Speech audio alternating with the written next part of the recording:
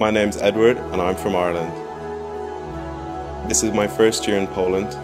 I miss my own country, but I've made a new home here.